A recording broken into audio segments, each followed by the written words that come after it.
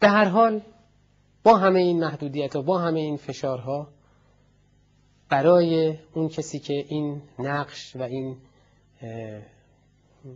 مسئولیت رو داره در اون شرایط در همون سلول این ایده ها شکوفا شد و در نهایت ما همونطوری که در زندان از اونجا به خاطر مونده تحت عنوان اسلام چپ مارکسیزم تدوین و آموزش داده شد. که خب این در واقع یک اکسیری بود که مجاهدین رو از اون ضربه نابود کننده اپورتونیستی خارج کرد. و الا بدون تعارف بدون تعارف. همه مجاهدین اون زمان وارد جاده های خاکی می شدند اگر این تئوری نبود اگر این راهگشایی نبود.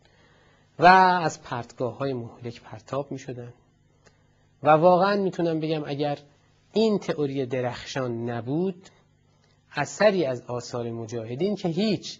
امروزه میشه دیگه قاطعانه گفت. اثری از آثار اسلام هم به معنای اسلام راستینش باقی نمیمون چون می‌بینیم که این رژیم خمینی آخوندها دیکتاتوری ضد بشری فاشیسم مذهبی. چه به سر اسلام در اذهان مردم و جوانها و جامعه آورده. شعله هدایتی که از ایدئولوژی ناب توحیدی بنیانگذاران سازمان مجاهدین سرچشمه می گرفت در تاریخ ترین سیاه چالهای رژیم شاه توسط تنها بازمانده مرکزیت مجاهدین مسعود رجبی روشن نگه داشته شد. سازمان مجاهدین خلق ایران به رغم آن ضرباتی که بودتای ننگین اپورتونیست های چپنما و رزالت های عناصر راست ارتجاعی و کشتارهای بیرحمانه ساواک آریا مهری بر پیکرش وارد آورد.